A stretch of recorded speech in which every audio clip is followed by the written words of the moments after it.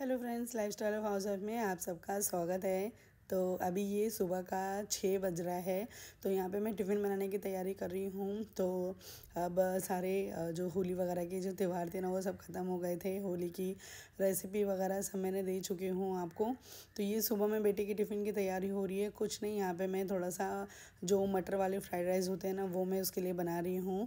तो यहाँ पर मैंने ना उसके लिए जो मटर वाले फ्राइड राइस बनाए थे तो मैंने सिर्फ़ मिर्ची, प्याज और राई जीरा का तड़का दी थी, उसमें फिर मैंने अच्छी तरह से उसको भून कर फिर उसके अंदर मैंने जो हमारे जो वटाने होते हैं मटर, वो मैंने डाल दिए थे, हल्दी और लाल मिर्च का पाउडर डालकर, नमक डालकर बस उसको मिक्स कर दी थी। और फिर जो उसका थोड़ा सा कच्चापन है ना, उसको हटा, पकने देंगे हम लोग। और जब कच्चापन ख़त्म हो जाएगा, तब हम लोग उसमें हमारे जो राइस हैं, वो उसको डाल देंगे। तो आज उसके मन का ये रेसिपी बन रही थी तो उसको बहुत अच्छा लगता है ये टिफ़िन में लेके जाना। तो आज यही उसके लिए मैंने टिफ़िन में बनाई थी। तो बहुत दिन के बाद में उसने मुझे बोला था, मम्मी, जो मटर वाले फ्राइड राइस होते हैं, आप बनाते हो, वो वाला फ्राइड राइस मुझे बना के दे दो, मुझे वो लेके जाना है। तो बस वही सिंपल वाली यहाँ पे मैंने बनाई थी और फिर इसको एक मिनट के लिए मैंने ढक दी थी ताकि जो इसका कच्चापन है वो निकल जाए और नमक वगैरह अच्छे से राइस में मिक्स हो जाए। तो बस यही अब मैं अच्छी तरह से यहाँ पे मिक्स कर दे रही हूँ उसको। तो यहाँ पे लगभग ये हो ही गया था। तो अब जो हरा धनिया होता है वो अभी हम लोग इसमें डाल देंगे।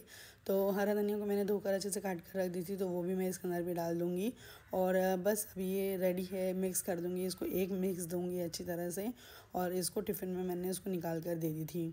तो बस टिफ़िन को पैक करके मैंने उसको दे दी थी। वो स्कूल चला गया था अपने स्कूल मतलब वो कॉलेज में ट्वेल्थ में है तो वो चला गया था। और बस इसको मैंने पहले अभी टिफ़िन प्लेट में निकाल रही हूँ ताकि जल्दी से ये ठंडा हो जाए। इसके बाद में मैंने उसको पैक करके दे दी थी। तो आज ना मुझे थोड़ा सा काम बहुत था बाहर भी मुझे थोड़ा जाना था काम से। तो उसके बाद में फिर आ, मैंने जो हमारे जो नाश्ता वगैरह रहता है ना वो सब मैंने रेडी करके और हम लोग नाश्ता वगैरह कर लिए थे। इसके बाद में फिर मैं अपनी तैयारी वगैरह करके चली गई थी फिर अपने जो मेरे काम थे उसमें करने के लिए। पहले तो थोड़े घर के काम थे दोपहर की लंच की तैयारी भी जो थी ना वो मैं सब करके गई थी। करेले की सब्ज़ी मैंने बनाई थी आज तो करेले को मैंने काट कर उसके अंदर नमक वगैरह मिलाकर रख कर ही चली गई थी मैं। और जो भी मशीन वगैरह है, जो कपड़े धुलने वाले वो सब कुछ मैं मशीन में डालकर, लगाकर अच्छी तरह से गई थी। तो जब मैं वापस आई हूँ यहाँ पर, तब तक मुझे आते आते साढ़े बारह बज गए थे दोपहर के।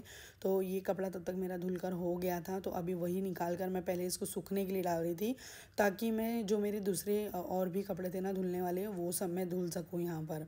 तो इसमें भी देखिए तो बेटे के पास दो यूनिफॉर्म है तो वो यूनिफॉर्म हमारे कपड़े और जो भी डेली के लगने वाले हैं, देखिए ये कपड़ा है ना, ये साफ़ नहीं होता वाइट कलर का बेटा, बहुत गंदा करता है बेटा मेरा। इतना बड़ा हो गया है, लेकिन बहुत गंदे करता है कपड़े वो। और फिर इसके बाद में यही सब था, फिर ये सब कपड़े निकाल रही थी मैं। और फिर इसको मैं सूखने के लिए अब डालने जा रही हूँ तो सूखने के लिए डाल दूँगी।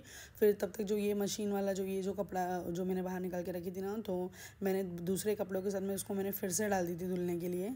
तो सेकंड बैच में वो अच्छी तरह से साफ़ हो गया था यहाँ पर। और मैंने आपको बताई थी पहले भी कि मैंने तैयारी वगैरह सब्ज़ी की दोपहर की जो लंच की थी वो करके गई थी। तो, अभी तक ना बेटे के स्कूल से मैसेज नहीं आया था मुझे साढ़े बारह बज गए थे।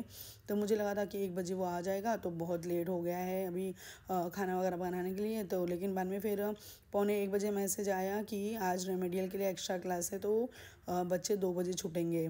तो तब फिर मैं रिलैक्स हो गई आराम से, तब फिर मैंने कपड़े वगैरह डाले हैं और उसके बाद में फिर मैं किचन में चली गई थी काम करने के लिए।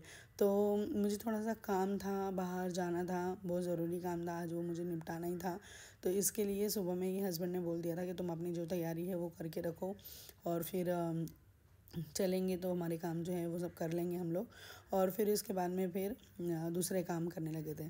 घर के काम के साथ में बाहर का भी काम सब तो करना ही पड़ता है। ऐसा मैं जल्दी जाती नहीं हूँ वो कर लेते हैं बट मेरी ज़रूरत थी आ, मेरा इसीलिए मैं गई थी आ, वरना मैं जल्दी जाती नहीं हूँ। तो हस्बैंड ही कर लेते हैं काम वगैरह जो बाहर के रहते हैं ना तो वो कर लेते हैं।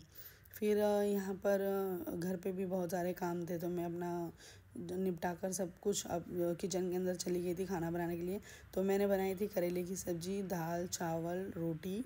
तो ये सब कुछ मैंने बनाई थी। और करेले की सब्ज़ी मेरे बेटे की फ़ेवरेट सब्ज़ी है, हस्बैंड की भी फेवरेट सब्ज़ी है और मैं भी खा ही लेती हूँ। मुझे भी पसंद है, बट मुझे बहुत ज़्यादा मसाला वगैरह डाल के पसंद नहीं है। भरवा कलर है, करेले भी अच्छे लगते हैं मुझे, बट बहुत ज़्यादा मसाले वगैरह रहे ना तो फिर नहीं अच्छा लगता है। तो देखिए, यहाँ पर कपड़ा मेरा हो गया है डालकर। तो दे, ये देखिए। और मैंने ना ये ड्रेस जो पहनी हूँ, इन सब का मैंने आपको वीडियो दी हूँ तो आप एक बार देख लीजिएगा। तो ये जो मैं जाने के पहले जो नमक वगैरह लगा कर गई थी ना, ये वो वाली क्लिप है। तो मैंने अभी इसको यहाँ पे ऐड करी हूँ, ताकि आपको एक साथ में ही समझ में आए कि रेसिपी मैंने कैसे की है इसकी। तो अभी इसको मैंने नमक लगा कर रख दी थी। समझ लीजिए एक घंटा ये रखा हुआ था। और अब इसको ना अच्छी तरह से निचोड़ कर इसका जो सारा पानी है मैं निकाल ले रही हूँ। पानी इसके लिए निकालती हूँ मैं ताकि ये जल्दी से जो है ना भुन जाए। और दूसरा क्या है थोड़ा सा कड़वा भी कम लगता है इसको ऐसे करने से। मैं, आप देखेंगे ना ध्यान से तो मैंने इसके पूरे छिलके नहीं निकाले हैं। छिलके हैं इसके अंदर। जो बिल्कुल भी जो बहुत ज़्यादा शार्प इसका जो छिलका होता है, वही मैंने निकाल कर उसको एक थोड़ा थोड़ा सा प्लेन कर दी थी। और मैंने ना आधा किलो करेला था तो यहाँ पे मैंने आधा किलो ही प्याज भी ली हूँ। तो इसमें अब इसको मैंने काट अच्छे से लंबे लंबे ही उसमें काट ली हूँ। और सरसों का तेल यहाँ पे गरम कर दिया है मैंने। सरसों के तेल में मैं प्याज डाल दी हूँ यहाँ पर। और प्याज को ज़्यादा भूनेंगे नहीं हम लोग, हल्का हल्का ही भुनेंगे क्योंकि करेले भी हमारे भुनने में टाइम लगेंगे ना। तो इसके लिए मैंने प्याज को भी हल्का हल्का ही भुनी हूँ और हल्का हल्का भुनने के बाद में ही इसके अंदर मैंने करेले डाली हूँ। ज़्यादा आप पहले ही प्याज लाल कर देंगे ना तो जब करेले को लाल करने की बारी आएगी तो आपका प्याज थोड़ा सा जला हुआ टेस्ट देगा।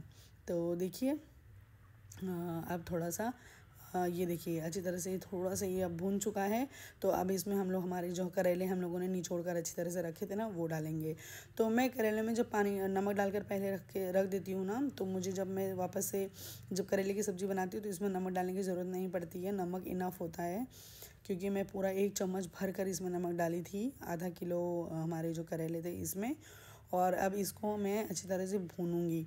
तो मैंने इसमें मसाले में क्या डाली थी? कुछ भी नहीं, सिर्फ़ मैंने जो हमारी कलौजी होती है, कलौजी वो डाली थी मैंने, बिल्कुल आधी चम्मच से भी कम।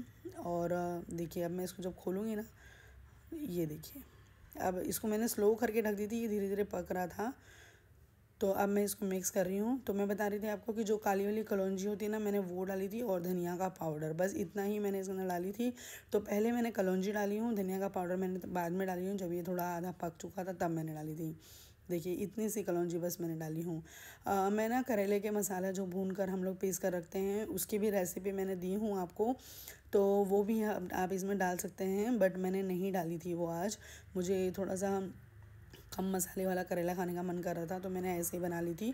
और मैंने साइड में रख दी हूँ टोप में दाल बनने के लिए तो टोप में बना रही हूँ क्योंकि बेटा लेट आने वाला था ना, इसीलिए मैंने टोप में रख दी थी। उसमें उबाल आ गया था, उसकी जो ऊपर का जो झाग होता है वो सब निकाल कर मैंने उसमें टमाटर, मिर्ची, लहसुन सब काट कर डाल दी थी। अब वो धीरे धीरे पक रहा है, नमक वगैरह डाल दी थी।